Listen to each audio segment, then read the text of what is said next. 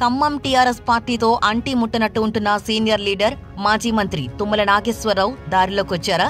CM KCR Bhadrachalam టూర్తో ఈ కీలక నేత సెట్ అయినట్టేనా అంటే అవునని అంటున్నారు ఆ జిల్లా లీడర్లు.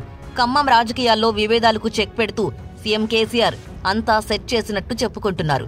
భద్రాద్రి కొత్తగూడెం జిల్లాలోని వరద బాధిత ప్రాంతాల్లో పర్యటించిన సీఎం భద్రాచలంలో ఏర్పాటు చేసిన సమావేశంలో పాల్గొన్నారు. ఈ సందర్భంగా కరకట్టల నిర్మాణంలో అప్పట్లో తుమ్మల నాగేశ్వరరావు చేసిన అభివృద్ధి ఆయన కృషిని అభినందించారు. దీంతో ఇంతకాలం పార్టీలో ప్రాధాన్యం లేదనుకున్న తుమ్మల నాగేశ్వరరావు ఈ దెబ్బతో దాదాపు సెట్ అయినట్టేనని చెప్పుకుంటున్నారు టీఆర్ఎస్ పార్టీ లీడర్లు. అయితే సీఎం కేసీఆర్కు తుమ్మల సన్నిహితుడిగా పేరుగాంచారు.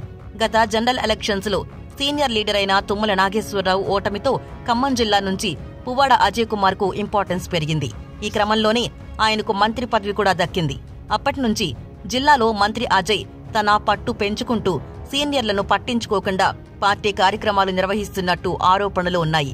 ఇక అశ్వరావుపేట కాన్స్టిట్యున్సీలో ఇన్ఛార్జ్ బాధ్యతల విషయంలోనూ పువ్వాడ తుమ్మల వర్గాల మధ్య ఆధిపత్య పోరు నడిచింది. అక్కడితో ఆగకుండా తుమ్మల సొంత నియోజకవర్గమైన పాలేరులోనూ ఆయనకు వరుసగా షాక్ల మీద షాక్లు ఎదురయ్యాయి.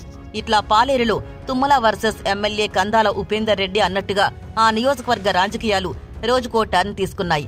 సోషల్ మీడియా వేదికగా ఈ రెండు గ్రూపులకు చెందిన నాయకులు ఒకరిపై ఒకరు విమర్శలతో పోస్టులు చేసుకున్నారు. గత ఎన్నికల నుంచి మొదలైన రగడ తగ్గకపోగా మరింత పెరుగుతూ వచ్చింది. అయితే కాంగ్రెస్ నుంచి బరిలో దిగి తుమ్మలపై గెలిచిన ఉపేందర్ రెడ్డి టీఆర్ఎస్లో చేరడంతో ఇక్కడ పోరు మరింత ఉధృతమైంది. నియోజకవర్గంలోని ప్రతి మండలం గ్రామంలోనూ తమ వర్గాన్ని టార్గెట్ చేసుకుని అట్రాసిటీ కేసులు నమోదు చేస్తున్నారని కొన్ని రోజుల క్రితం తుమ్మల బహిరంగంగానే ఆరోపణలు చేశారు. పార్టీలో ప్రాధాన్యం దక్కకపోగా చిన్న చిన్న లీడర్ల నుంచి అవమానాలు ఎదుర్కోవాల్సి వస్తోందని బాధపడుతూ వచ్చారు.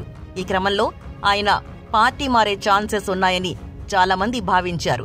కానీ గోదావరి వరదల కారణంగా ఖమ్మం జిల్లాలో పర్యటించిన ముఖ్యమంత్రి కేసీఆర్ ఇటు పార్టీ శ్రేణుల్ని అటు అసంతృప్తుల్ని సెట్ చేసి ఇక ఇబ్బంది లేకుండా చూశారని పార్టీ వర్గాలు చెబుతున్నాయి ఇక ముందు కూడా కలిసిమెలిసి ఉంటారా లేక మళ్ళీ లుకలకులు స్టార్ట్ అయ్యేనా అనేది ఫ్యూచరే నిర్ణయిస్తుందని పరిశీలకులు అంటున్నారు.